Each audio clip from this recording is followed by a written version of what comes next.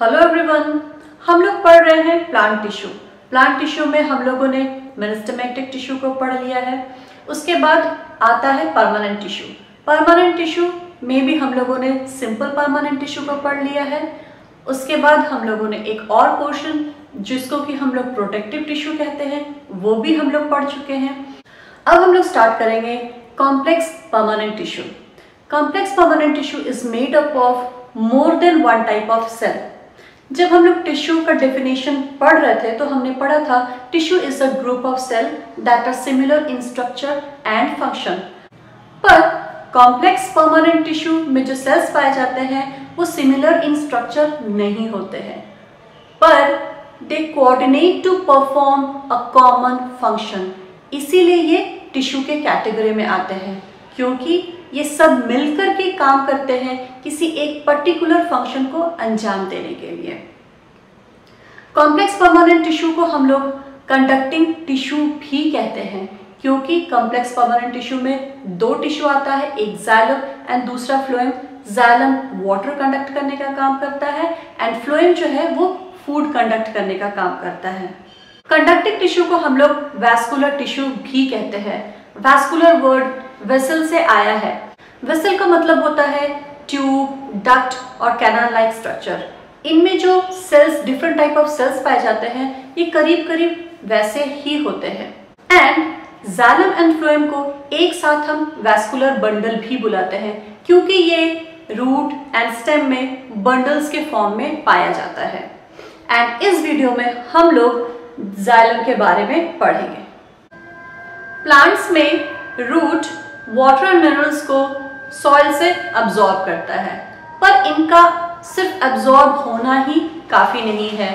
Water and minerals का plant के हर एक पार्ट तक पहुँचना बहुत ज़रूरी है। और ये काम जाइलम करता है।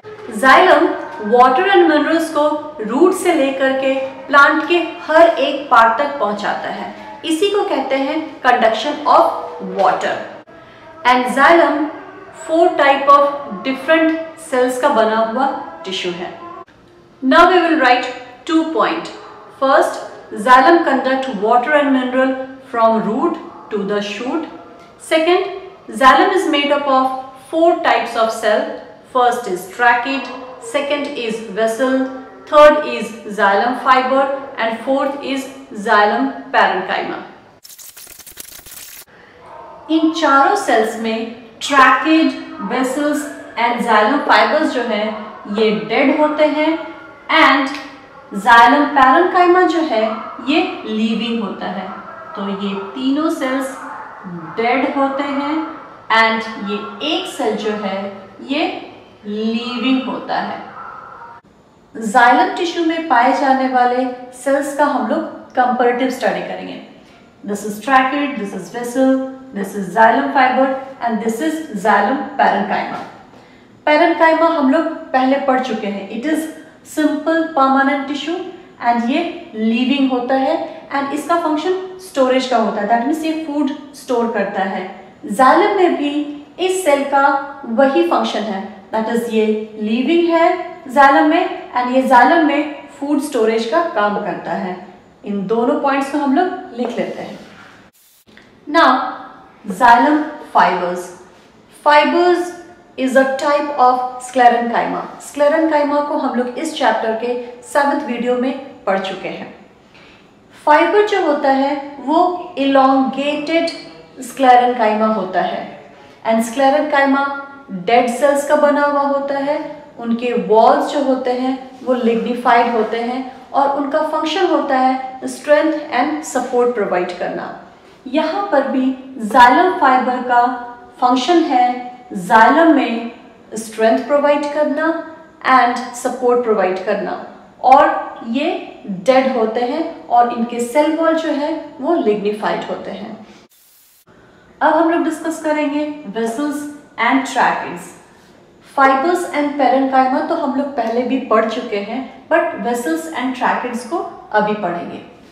वेसल्स भी डेड सेल्स का बना हुआ होता है एंड इनके भी जो सेल वॉल है, वो लिग्निफाइड होते हैं।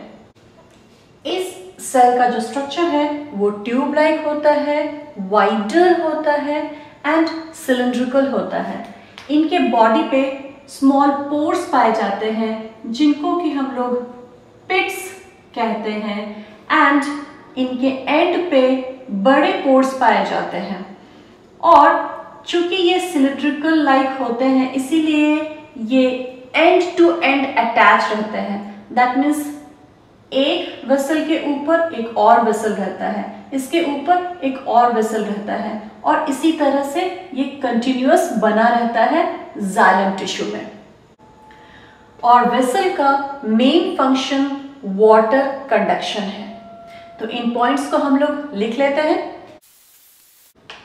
नाउ ट्रैकिड्स ट्रैकिड्स के जो सेल होते हैं, ये भी डेड होते हैं सेल वॉल लिग्निफाइड होते हैं। इनके सेल का जो स्ट्रक्चर होता है, ये भी ट्यूबुलर होता है। लेकिन जो सेल है, वो नैरो होता है एंड इनके जो एंड्स हैं, वो नुकीले होते हैं। That means the cell is tubular narrow but with tapering ends और इनके बॉडी पर भी स्मॉल पोर्स पाया जाता है, जिनको कि हम लोग पिट्स कहते हैं। और चूँकि इसके एंड टैपर होते हैं, इसीलिए ये एंड टू एंड एक दूसरे के ऊपर में अरेंज नहीं रहते हैं। ये लैटरली अरेंज होते हैं। एक सेल्स के बगल में दूसरा सेल होता है दूसरा सेल के बगल में तीसरा सेल होता है तीसरा सेल के बगल में चौथा होता है। इसी तरह से इनमें अरेंजमेंट पाया जाता है। और इनका भी मेन फ़ंक्शन वाटर कंडक्शन का होता है। तो इन पॉइंट्स को भी हम लोग लिख लेते हैं। सो so, जाइलम में पाए जाने वाले फोर टाइप ऑफ़ सेल इस तरह के हैं। ट्रैकिड डेड है ट्यूबुलर है पर नैरो है। एंड वाटर कंडक्ट करता है। वेसल्स भी डेड है ट्यूबुलर है बट वाइडर है एंड वाटर कंडक्ट करता है। जाइलम फाइबर डेड है एंड स्ट्रेंथ एंड सपोर्ट देता है। जाइलम पेरेंकाइमा ही एक ऐसा सेल है जो लिविंग है एंड फ़ूड स्टोर करता है। जाइलम टिश्यू में पाए जाने वाले ये चारों सेल एक साथ कोऑर्डिनेट करते हैं सिर्फ़ एक गोल को अचीव करने के लिए। और वो गोल है कंडक्शन ऑफ़ वाटर